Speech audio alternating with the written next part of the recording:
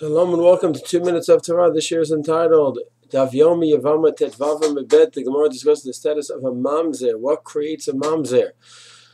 There's a uh, forbidden relationship which is chayav inkarate, where Hashem ends one's person's life, either in Olam Hazeh or Olam Haba, or does it have to be uh, Gilui Arayot, where a person is chayav and mitat beit din, beitin down here. In Olam Hazeh punishes the person with death. That's the one who's chayiv in in in, uh, in mitan would be defined as a mamzer.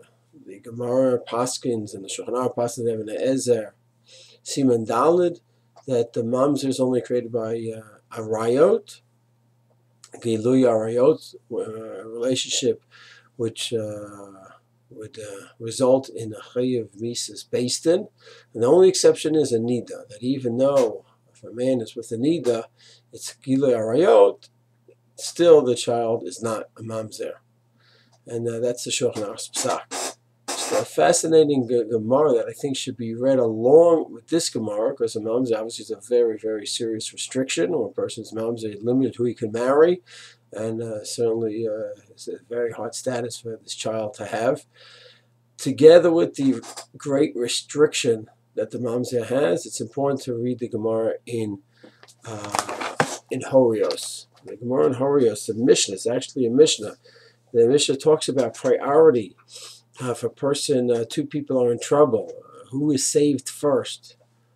Uh, an Aveda, a person lost an object, and a few people lost their objects. So who do you return to first? So the Mishnah gives a list, and it writes that you have the Kohen, the Levi, Israel, then a Mamzer, and the Mishnah finishes off and writes that if the mamzer is a Talmud Chacham, he's a Talmud Chacham, he's a big tzaddik, he's a great person, really developed his spiritual potential.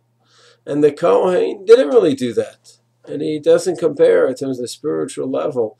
Uh, he's not a Talmud Chacham. Like the Mamzer, then the Mamzer takes priority over everyone. So it's very clear from this Mishnah that yes, it is harsh. The status of Mamzer is certainly harsh and limiting in terms of spiritual potential. He could reach the greatest of heights and given the greatest of honor. So just important to know that in this world, for sure, restrictions and who one can marry is a limitation. There's no shayla about it. But in this world, the goal is spiritual greatness. And in terms of spiritual greatness, the for the mamzer, the world is open to him as well, despite his challenges and restrictions. Shalom.